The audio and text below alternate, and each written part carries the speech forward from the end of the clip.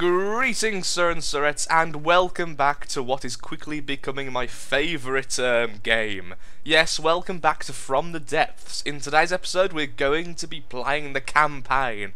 I have messed around in the vehicle designer for far, far too long, and I have reached a level post level 4. I'm not 100% sure on what level, because you don't really use for levels yet, but I'm a higher level than 4, so we can unlock the campaign. I've already played a quick bit of the campaign, I must say I absolutely adore it. So um, I'll be talking about the campaign as I go along when we start playing. It's a sandboxy open world campaign, so um, I'll try and explain it to, to those who don't know what's going on. For those who do know what's going on, I will probably be making loads of little mistakes, and you can laugh at my futility to understand even the basics of things, because it is one complex game. So, without further ado, let's get into the game. I'll be getting into it straight now, and I'll just skip until we're actually in the game. So, back in a second, my beautiful Sir and Sirettes. And welcome back. As you can see, we're on our little floating fortress. How cute is this thing? I absolutely adore it. So, we have a big choice to make straight away, Sir and Sirettes. Okay, so I should explain what's going on before I should decide on choices and other such um, things. Well, this is a resource ring. There are many like it in the world, but this one is ours. And it's constantly providing resources to the ground below. On our fortress, we have things which can drain resources, which we can make more of later on. So we have a little resource gatherers and oil drills, which are change, being changed into the delicious fuel you see here, and ammo, which restocks itself, actually, which I think is kind of odd, but there we are. So, yeah, that's going on. We have vehicle spawners over here. We have the ability to make new vehicles at any given time. We have a little starting thing here, which is terrible. It has a little electric engine, which can be recharged over here, but we are going to be getting rid of that regardless. So, one big choice I have, I've played the campaign twice just to mess around with two different options. We can either keep the fortress, make some new ships and go out exploring in the world, or we could destroy the fortress and make a moving uh, kind of mega ship, and the mega ship will have its own ability to gather resources, which is a lot of fun, and then make little mini fortresses as we go along, or mini ships even, with just resource gatherers on them, since again you can just put a resource gatherer on one of these, it's all sorted. We are here. This is the map. It's pretty freaking huge. Like I say, it's very sandboxy, very open world. That you can do pretty much whatever you want to get to victory. And victory is to wipe out all the enemy factions. As you can see, there's many enemy factions, but right now the only one we're concerned about are these fellows, the little blue fellows, the water guard, the deep water guard, who are basically pirates who instantly are against you. Right now they have no interest, they don't even know we're here. Eventually they will be sending raiding parties to raid your resources because, well, we're on a resource point and they want that. It's pretty much one of the best resource points in the area. But we want to move on and gain a new resource point. Um, in the campaign text, which which I accidentally skipped, it did say you should fortify and make sure you survive the first wave, which I really want to. But we have no crystals. Crystals are amazing. They're a resource which you can use to build AI. Also, that gun there will never defend you against the first wave. Ever. So, what I'm going to do is actually do a very cheapy, naughty thing, which I did by mistake the first time I played which is you can delete these lovely repair tentacles, which are used to make things and also repair your vehicles, believe it or not, think, and that will actually give you some crystals. Then you can make a crystal farm. Crystal farms will use currently stocked crystals to grow more crystals. Uh, there we go, crystal farm, shrink it down, there it goes and then we put some tries on. The more tries you have, the more crystals it can use to grow. It doesn't actually take it out of your stock, it just increases the speed in which it grows more crystals. So right now it can use up to 60, so at maximum capacity, when we have 60 or more crystals, it will be making it at max speed. So we'll leave that there, and that will do its dirty work.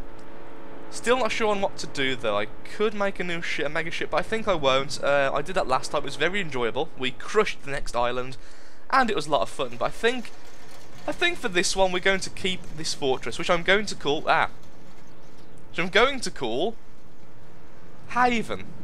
This is Haven. This is our little fortress. But this ship really needs to be, oops, blood, converted or destroyed. It really hasn't got any, there's no real other option about it. So I'm going to do some deleting as well, because some of the ship is just inefficient for its cost. So I'll get up in here. Like, this metal, by the way, is the most expensive resource. Where is it there? 60 metal. That's quite bad. 10 um, raw materials, and then 10 scrap. Scrap is amazing. We only have 40 scrap currently, and I want that scrap, so I'm going to actually delete this entire section of, um, of wall. Because for a while, at least, we don't really have to worry about enemy invaders. It's going to take some time, and it's not too long to shore ourselves up against the oncoming onslaught. Oops. It's going to repair that more than actually damaged it. Well, they're floating. There we go. That's what I wanted to see. Also, this game has a weird tendency to slow down FPS, which isn't terrible, but if you're recording, it means it alters your voice. So if you ever see hear my voice go really, really low and kind of distorted, you earn a cookie, because I can't do anything about it. And if I edit it out, I'll have to edit out huge chunks of the video. So yeah, not the best. Oops, there we are. So what I want is a ship with a very basic AI. The AI doesn't need to control naval movements, I'm okay with it not doing that. But I want it to at very least control weapons, because quite frankly aiming weapons and, and controlling the ship is a nightmare. So we've almost finished with this, just delete the last little bit of it, and into the sea it goes. Lovely. We got a lot of stuff from that, just by this little bit of armour, which, which I'll replace later on with wood. Yes, wood is far less defensive, but quite frankly, the enemy AI never goes for this section. It always goes for the section where your mainframe is, and then your ammo. So this is going to be this section here, which is already metal, which is, which is the hardest block. So we will put our AI there later on. Have they even found us yet? Nope, they don't really care still. That one's patrolling. This this is the one which will eventually go for you, though. Okay, so let's get onto the other ship and make it beautiful. I'm just going to skip ahead a little bit until we've made it a bit bigger, because that's going to be quite a boring prospect. Unlike destroying metal, of course, which wasn't skipped. okay, so back in a second, my beautiful Sir and Sirettes, I'm going to extend this little ship and save it as a new design. Welcome back, Sir and Sirettes. As you can see, not much has changed. Now, there's a reason for that. I've had a change of heart. Because I do love this fortress. I love the idea of having the fortress, and the fortress is amazing. I have deep respect for the fortress, however I am going to be destroying the fortress today with this lovely vehicle scrapper because we are going to be making a mega ship and the mega ship is what we will have our base of operations on from now on so prepare to see something fairly cool. Starting fortress, scrap. Now you've got to admit that's pretty cool and then completely destroy. So our fortress is no more but the resources it was once made of is now part of us so we can begin making a big ass ship. A big ass ship? A, just a big ship in general. So let's do that, shall we? So it needs to be big, obviously. I've decided I want just one ship. Hmm, that's odd, it should be mirroring. Why isn't it mirroring? Already we've came into a mega problem.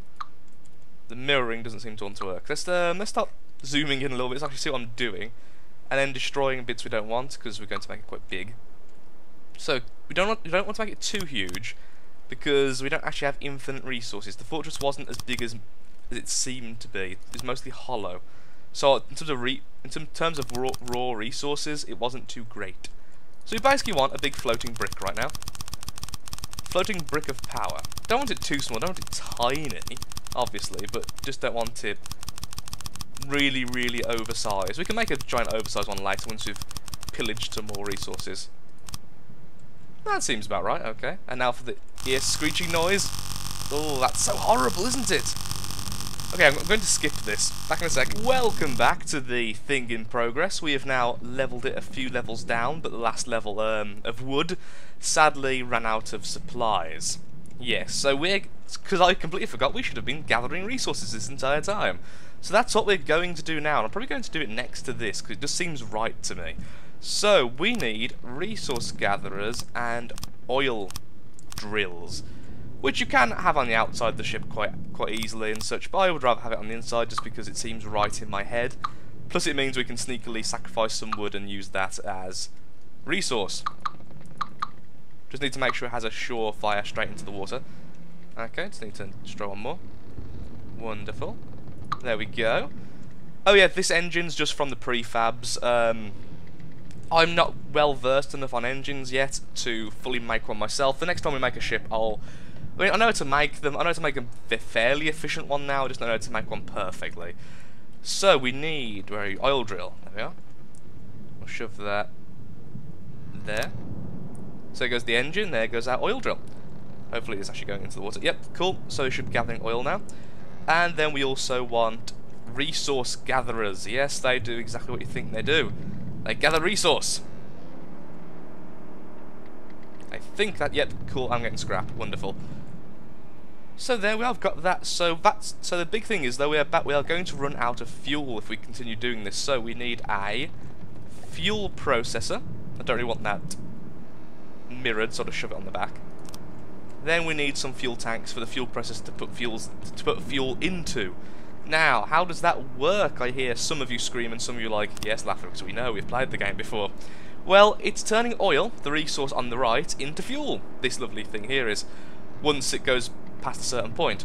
So we're currently draining resource and oil from the bottom of the ocean, which is constantly respawning because itchy ear, we are in a resource ring. So of course you want to gain more resource rings later. So currently this is the robot. The ship, the basic ship. We'll, we'll, so we're now gathering resource at the same speed as, as the fortress. So I'll leave that for a while to gather resource, but another thing we need then while we wait, just thought about it, is a crystal farm. Crystal farm, which uses our current crystals to grow more crystals. All of this will be in the hull, so all this will be protected later on, so I don't mind shoving things like this in here. And then we put some, some growth trays down so it can use up more. Oh, oh, that's not equal. There we go, nice, nice and symmetrical.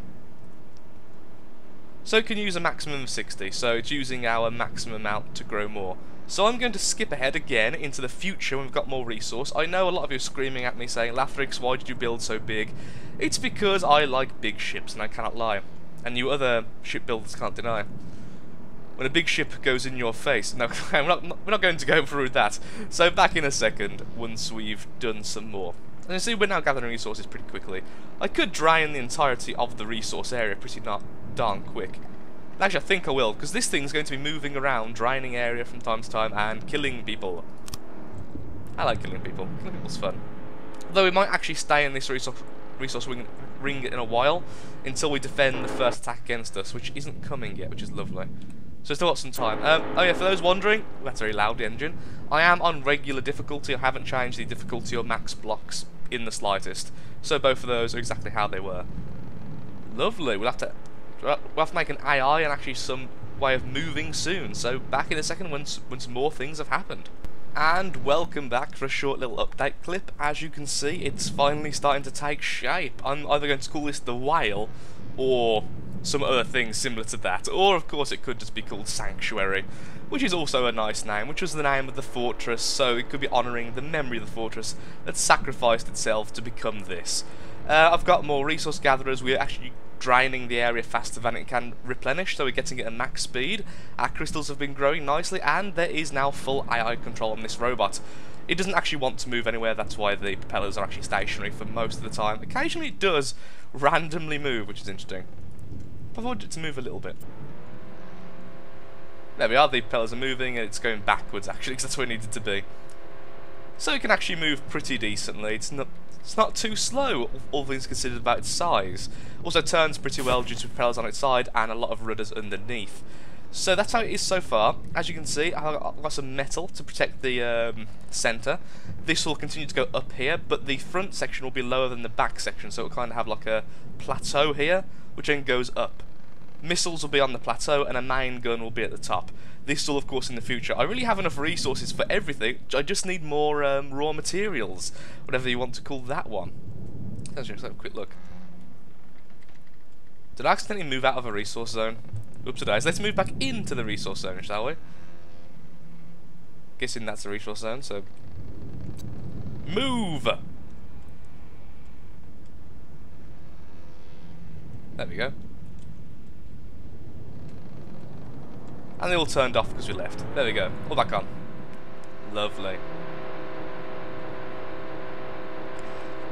Okay, so it's called natural. So it's natural, metal, scrap, and crystal. So what we need is more natural, which sadly we're we've got to run out of. I think I was a bit overly ambitious with the size of this thing, so we are taking some time to actually get this thing up and running. But there's still no sign of the enemies trying to attack us because they do give you quite a long time to prepare, which is the whole point of this. So we have enough time to prepare and at least make a gun. Worst comes to worst, I could always put a gun just here, mount it up there. It doesn't require much scrap, it mostly requires metal and spare parts, which we've got in abundance.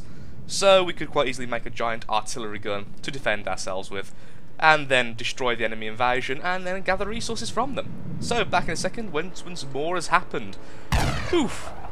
Once, once it's all up and running, a lot more things will happen, there'll be a lot more fighting and a lot more excitement in our lives. So yeah, BRB. And yet again, we're back. Well, as you can see, I do believe in doing things in excess, a ship that's far too big for the resources we've got, and a gun which follows the same suit, which you can actually stand on, which is awesome. So this uh, current main gun, which won't be our main gun forever, but yeah, so as you can see, this is where the plateau is going to be, and I've decided to put our custom cannon on there for now. It's not too, too big, but it did cost a lot of metal, a lot of auto-loaders, and a lot of ammo. Right, it shoots very fast for its current gauge. It does a lot of damage and it's very long range. Boom! See? It can shoot for a mile away from our ship. Wow, actually it can shoot a lot further than I thought it could. Wonderful. Splish. So yeah, that's our current gun. As you can probably tell, a lot of the weaker ships we, that we will that we will be fighting earlier on won't really be able to stand a chance against that as soon as it's hooked up to the AI, which I'll actually do now while you're watching. Maha! Free content for me to produce. Aye aye, and now we need the lovely six-way connectors. Again, if I make any mistakes, if things look inefficient, just bear in mind, I'm very new to this. So, local weapons connector goes underneath, I suppose. Controlling one weapon, beautiful, that's what I wanted to see. And then six point again. And I want two things. First of all, I want a failsafe to make sure it doesn't turn around and shoot our own ship. And then I want a wireless receiver. Yes. So that should now be attached to the main. Wonderful. So now my AI has full control control over this gun if it wants to control it at any given time. So next then I'll need radar systems and lasers. Don't actually need them, amazingly, as long as the enemy come close enough. But I would like them. I could go and fight the enemy, that would give us quite a lot of metal actually. But I do believe currently we need to fortify a little bit more, because right now one errant shot could quite literally destroy everything we have and we simply don't have enough ammo barrels to maintain that gun. So, once again, clipping forward into the future. Ooh. Okay, I think we've done enough of just sitting around. We need to kill some stuff and get some resources. We will be pirates if the enemy shall be such scummy um, buccaneers, and we will do the same. So we're going to go to war. So yes, it's time for us to do some fighting. So, currently, the enemy has now sent a attack force against us. This little black line indicates their direction. So they're here, here to conquer new territory, which we will not allow. So what I'm going to do is pull the force out of play, so it no longer exists. Then I'm going to move it along there. I know for a fact that this thing can only shoot in this direction. I learned that the hard way last time. So we're going to fast forward time because we're out of play, no, none of our ships really exist. So we can go at full speed, which is 5 meters per second. I think that's the same speed as the enemy fleet. Awesome. And when we kill the enemy, we kill the enemy uh, um, resource gatherer thing, we should get a lot of metal from it, because a portion of damage done to enemy ships we gain as resource ourselves. So we want resources right now. So what we'll do is when we get there, we'll kill them, destroy them, and claim the area as our own, and then create a new ship, a little baby ship which will have engines and the ability to gather resources. So then we'll be gathering from two resource points rather than one. Although this resource point is nowhere near as good as the one we've got currently. Oh yes, I have decided to call it Haven, by the way. Although um, this one's nowhere near as good as the original, I still would like it. We. There we go, a small enemy fleet has come to try and defend against us which is fine. We're going to simply go backwards a little bit and wait for them to head to us. So if you could stop moving, okay.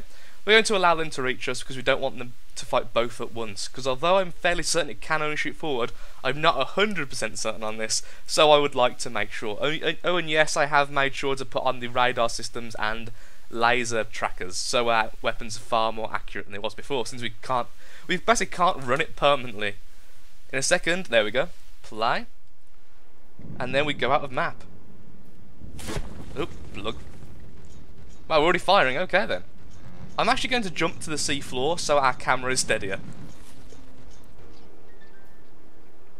They're quite far away, so I don't expect many shots to hit. We, our weapon isn't the most accurate in the world either. We could have made it more accurate. Ooh, hit him in the face. We could actually take over these ships. There's the funny thing. If we land on one and destroy the mainframe, you can actually take the ship for your own. But right now, I think I want the resources a lot more than I want that, and I can't be bothered to build a new scrapper. So we've taken out the first one. There we go. The first ship has been destroyed, and its resources are being deposited in our bank. we are Haven. We bring peace to your people. Have you run out of ammo yet? That's the question. No, we haven't. Why aren't we firing then? Oh, because the gun has run out of ammo. Yes, the gun will eventually run out of ammo if it doesn't have enough ammo blocks, which we haven't gave it really, so... We won't get many resources from these. These are very skinny robots. Actually, you know what? I'm going to go uh, and try to take over the second ship while it's focusing on that one. We have got some metal though, as you saw. We got about 100 metal from that. Certainly wasn't as many as I wanted, but still was a good amount. Actually, one second, I just need to um, change a setting. Sorry about that, just, just had something running in the background I didn't realise I had. This game does not like being recorded, uh, like most alpha games. It seems that games still in alpha don't particularly do well with being recorded. So, naturally, this one doesn't do well either. Oh no, that one's firing at us. Maybe we should do that one now. Let's do this one instead. So, I have to be very careful to only destroy the mainframe core and nothing else. Then I can use this as a little suicide ship in the future. So that's the gun. So that's the mainframe core underneath it. I'm going to have to destroy this to get to it. Oh, there it is. Just make sure I'm not destroying anything which will, which will explode in my face. Got ya! So now I should be repairing it. Yes, this is now my ship. Wonderful. Oh! Oh, wonderful as well. We just destroyed the other ship while doing it. So we have gained a ship. This is now part of our fleet. It's a Viper, I think it's called, the most basic enemy ship you can get. But I'm fine with that. We could scrap it. We very well could scrap it, but I'd rather keep it. If nothing else, for just sheer fun. I wonder, does that mean we can capture the enemy resource gatherer? Honestly, I don't think I'd want to. It's far more valuable as scrap, because it's kind of terrible. It's got an awesome gun on it, which can only shoot forward. This is going to take a while to um, repair. Using up all the metal we just gained to repair one of the ships. Has it got the AR core back yet? Oh, it does, yeah. this thing is actually fully operational again, I think. Nope, it's still waiting on its movement things. Well, it took a lot more to... Wow, it actually took more to repair. Okay, I'm going to actually leave that floating in the water for eternity. And we're going to put Haven back into battle. So we're going to pull, and Haven's going to start to march. This ship will march with it because we'll probably leave it in the resource zone. We'll probably just give it a tiny resource gatherer with its tiny little engine. And it'll slowly gather resources from here. So there's the thing as well, we don't have to produce a new ship, which is wonderful. Go us! Actually, the, the Viper should really be behind the giant freaking warship. We have a valuable lesson that our turret really needs more ammo boxes. So that's something I'll have to fix later on. I believe it takes more ammo than more metal than anything else, so not too bad for that.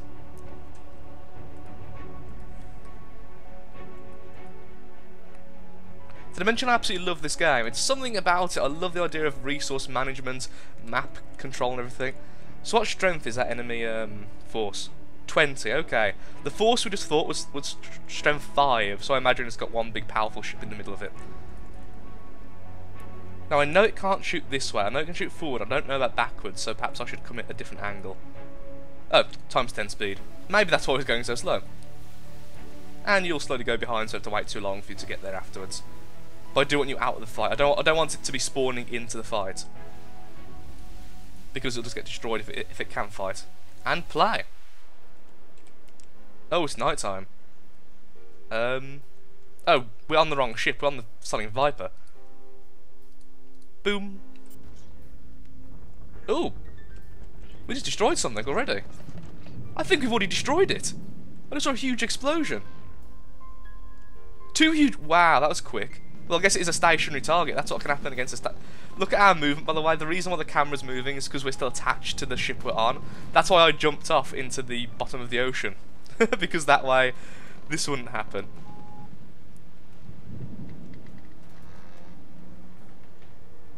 I think we have a... Yep, it, yeah, we, we must have um, destroyed the mainframe. There we go, it's gone. Boom! 1,000 metal. Beautiful. A lot of resources gained from that, as you can see in the right corner. That was very nice indeed. Okay, let's go to map, and you can go to the resource point. Pull all. I want both of you to get to the resource point as soon as possible. Oh, I will outfit our little Viper friend there with a resource gathering thing. Its engine is tiny, so it won't be able to run it even like 10% capacity, but even so, we can just leave it there. It's almost free because the resource gatherer is so cheap. Did you hear the audio glitch then? That's because this game is weird. Yes, I did say at the start it would happen, and I knew it would happen at some point. Okay, Viper, get closer to the resource point, please. Okay. Viper back into play, and then the Haven also back into play. Where's the Viper? Should be close. There you go. Hello, Viper. Let's um, jump aboard our new ally. Which is mostly repaired, actually, now look at it. Okay, so, turn off your engines, please. Just put its rudders back on, so B, and then there should be uh, resources, resource gatherer. Boom. Does that work if does it actually work if it's underwater? Not in a resource zone, really? Where's the resource? Oh, we're just out of it. Can we put it on that little section there, maybe? There we go! 42% of one gatherer. Well, better than nothing, I guess.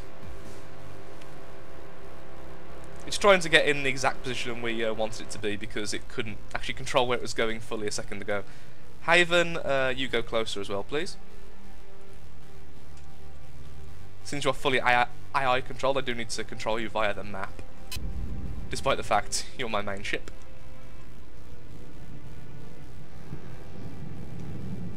Yeah, we are turning and moving. Awesome. So, let's do some stuff about that gun then. We need ammo pieces, really. Awesome. Ammo barrels. That's the thing I wanted. And edit the gun. So where can I put the ammo barrels? Exactly. Apparently I can't afford them, which is interesting. So I definitely can. Did I grab... Oh, ammo back. Oh, I'm so stupid. Custom cannons.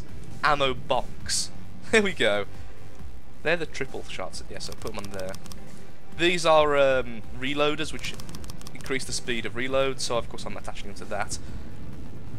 If all possible, something like that, and do the same on the other side. That costs a lot of metal, but it will upgrade our gun significantly. That should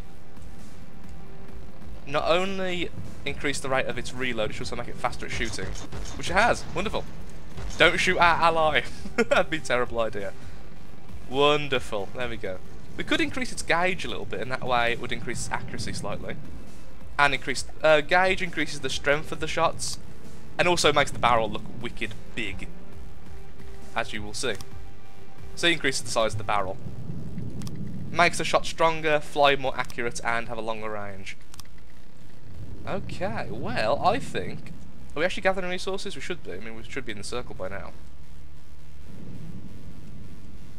Okay, we really need to add a... One second. Control...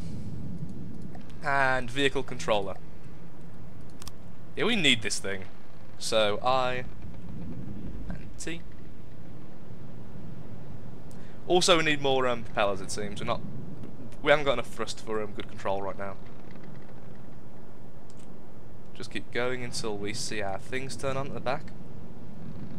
Hopefully we don't ram into our little Viper, because I can't see what hell where, where I'm actually going. Okay, let's go forward now. There we go. And off engines. Lovely. Now for some reason our engine's still on, I think because we've got some controls still going. So Haven, uh, just stop where you where you are, mate. Just stop, please. Stop moving. Thank you. Good.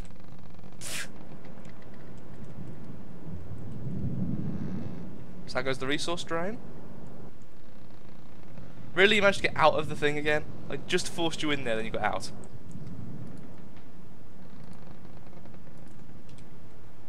Of course you did.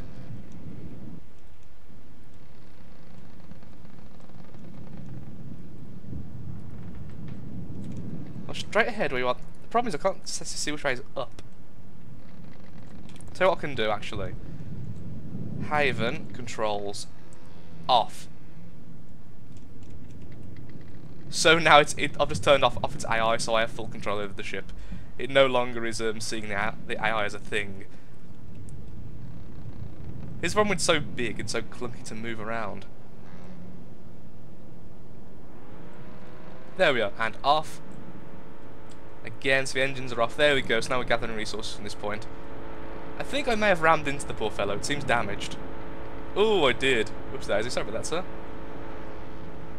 Are you still doing resource? No, apparently you're not in a resource zone now. Oh, the control of these things. Back. Stop. Uh, the way. Forward. Oh, this, this, is lovely to control. Oh, side, side, side. Oh, boom. oh dear, that was terrible. Well, we'll repair that, we'll repair that. And Sir and Sirettes, thank you for watching. This is the end of this episode. Actually did no damage to this ship, it just completely obliterated the Viper.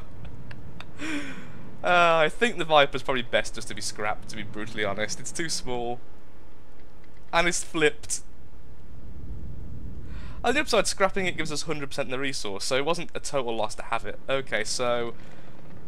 Let's see, MISC and then vehicle respawner and scrapper. We'll put that down there. Q, Viper, scrap. There he goes in the background and destroy. There we go. I've got, ooh, got a lot of resource from that. Wow. Capturing is better, it seems. Okay, I'm actually going to head this ship back over to the original resource point because it has much better resource consumption than this and should be recharged by now. And I'm going to call the episode. Thank you very much for watching Sir and Sirettes. If you noticed the sound errors, extra points to you. And I should be making another episode probably for the end of the day or tomorrow. So thank you very much for watching Sir and Sirettes and goodbye. A like and such is always welcome. We have a ship and we have our first victory. We're slowly getting there in our clumsy nature and destroying ships in, in the process.